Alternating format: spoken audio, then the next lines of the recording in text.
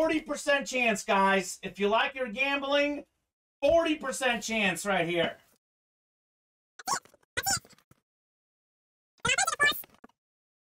Is it Dan Marino? Is it Jerry Rice? Let's see, let's see. Here we go.